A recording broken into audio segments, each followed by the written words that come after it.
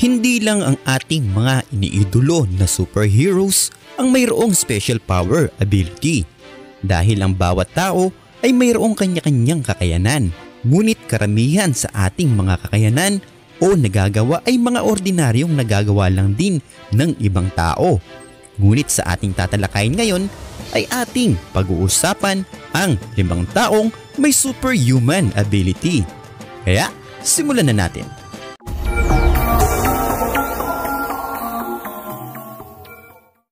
Number 5. Wim Hof the Iceman Ang katawan ng isang tao ay hindi makakatagal sa isang napakalamig na temperatura. Ito ay maaaring maging resulta ng kanyang pagkapahamak or worse ay maaari kang mamatay dahil sa hypothermia. Ngunit ibahin natin si Wim Hof dahil siya ay may superhuman ability na kaya ng kanyang katawan na magtagal sa napakalamig na temperatura. Kung makikita nyo pa nga siya ay nakahubad pa. Sa katunayan, siya ay umakyat sa Mount Everest ng taas na 23,600 feet nang walang dala ng kahit na ano maliban sa kanyang sapatos na suot at shirt nito na ultimo ang pangitaas ay nakalimutan niya niyang magsuot. Well, tingin ko naman ay hindi na kailangan pa ito ni Wim Hof dahil siya ay may taglay na superhuman ability. Kaya naman siya ay binansagang The Iceman. Number 4. Rajuman Nair, The Electric Shocks.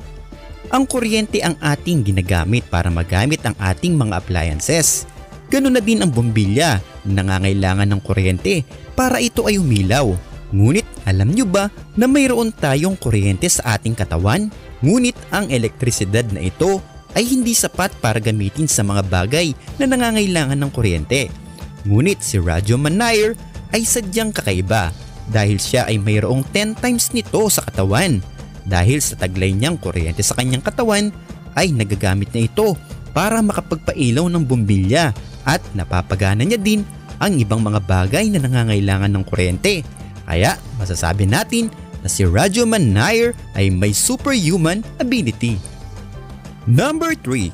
Isaw Machi Sigurado naisip nyo na marami naman ang mga tao na marunong gumamit ng mga katana lalo na yung mga Hapon na special weapon nila ang mga katana. Ngunit si Isaw Machi ay sadyang kakaiba.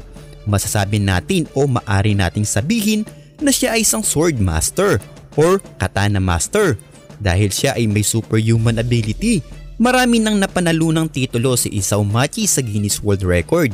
Ngunit ang pinaka nakakamangha na kanyang ginawa ay ang paghati niya sa bala ng isang pilit gun na malayo-layo ang distansya na kung isipin ay napaka-imposible ng kanyang ginawa.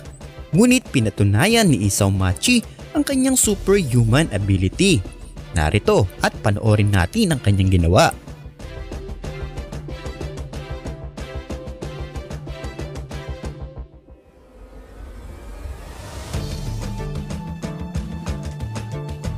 Number 2.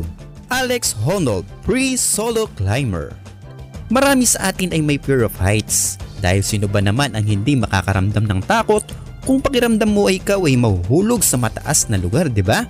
Ngunit ibahin natin si Alex Honnold na minamani na lang ang pagakyat sa mataas na lugar. Si Alex ay isang pre-solo climber o ito ay kilala din sa tinatawag na rock climber. Kakaiba ang nakahiligan ni Alex dahil ito ay maaring maging peligro ng kanyang buhay. Hindi madali ang pagiging rock climber dahil kailangan mo dito ng malakas na pangangatawan para makakyat. Resistensya lalo na ang grip ng iyong mga kamay. Ngunit si Alex ay may superhuman ability na kaya ng kanyang katawang kumapit sa mga bitak na bato para makakyat. Kaya naman masasabi natin na isa si Alex sa pinagkalooban ng superhuman ability. At ang ating panghuli number 1, Hopper Julius Johnson. Ang isa na siguro sa pinakamagandang superhuman ability ay ang superhuman strength dahil kaya mong buhatin ang mga mabigat na bagay na siguradong hindi kaya ng karamihan. Ngunit napakapalad ni Julius dahil ito ang ipinagkalob sa kanya. Kung makikita nyo sa kanyang itsura at pisikal na anyo ay akalain nyo na si Julius ay may edad na Ngunit alam nyo ba na si Julius ay 31 years old lamang sa kasalukuyan? Siya ay pinanganak noong November 26, 1988 sa bansang Iceland. Maraming beses na din naitanghal si Julius bilang pagiging world's strongest man in the world. Well, hindi naman katakatakad dahil ultimo mga sasakyan ay minamani niya lang buhatin. Kaya naman masasabi natin na isa si Julius na may superhuman ability. Well, sa ating mga tinalakay, sino sa mga ito ang nagpamangha sa iyo? Well, i-comment mo na yan sa ating comment section sa baba para malaman namin. At dito na nagtatapos ang ating talakayan. Panoorin mo din ang mga video ito na tiyak na mag-enjoy ka. Once again, this is Kwentot Kaalaman TV and thank you for watching. God bless.